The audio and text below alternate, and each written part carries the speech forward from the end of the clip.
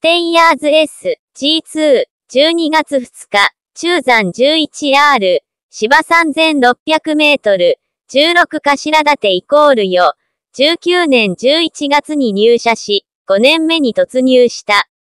私が放置新聞社に入るきっかけを作ってくれた恩人、黒の助手がステイヤーズ S から担当しているアイアンバローズ、オス6歳、立東、上村陽高級車、父オルフェーブル。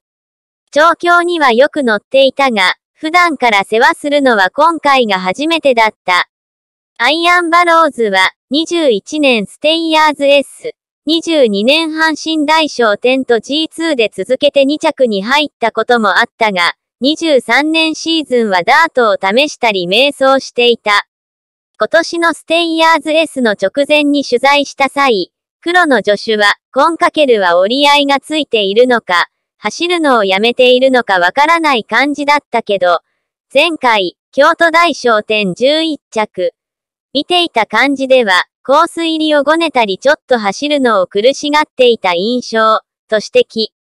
馬が嫌がるコース追いをやめて速い調教は半路中心に切り替え、その分コースでは普段からキャンターで4周するなどスタミナ強化に努めた。アイアンが走りたいところを、ハッピーに走れるように調教。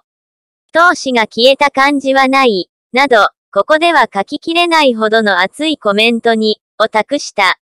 レースは2周目で花に立ち、引き離しての逃げ。スタミナ勝負に持ち込んだ石橋周騎手の好騎乗も光り、待望の重賞初制覇を飾った。すべて噛み合うとはこのことで、キングカメハメハやベルシャザールを手掛けた腕利きも、13年ジャパンシーダート、G1、ベルシャザール、以来の担当馬の重賞部位に喜びを爆発させた。地層の有馬記念、11着、は包まれて不完全燃焼だったが、黒の助手は、思ったようなレースはできなかったけど、これも競馬。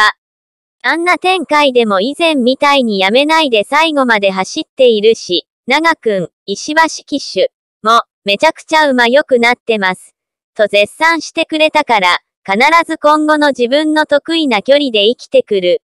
と前を向いた。24年も個性派から目が離せない。玉木博正。